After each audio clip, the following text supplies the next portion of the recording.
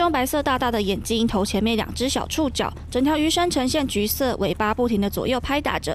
它是被称为龙头虾身的怪鱼，在台东大武外海被渔民捕获。当时渔民抓到它时，还以为又抓到了龙王鱼，但其实它是罕见的聚集红防浮鱼。这只长相奇特的怪鱼生长在三百到五百公尺深的海底，平常只会在海底匍匐。专家表示，要抓到它很难，除非是用拖网抓鱼，才比较有可能抓到。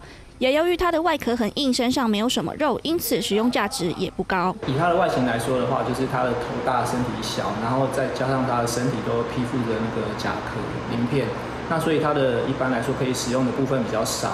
那据使用过的。就是民众表示说，它的肉是蛮好吃的，但其实说说实在话，它的经济价值也是不高。由于经济价值不高，渔民通常抓到它都会直接丢掉。这次难得又抓到罕见的聚集红防浮鱼，好奇的民众纷纷拿起拍照，要留作纪念。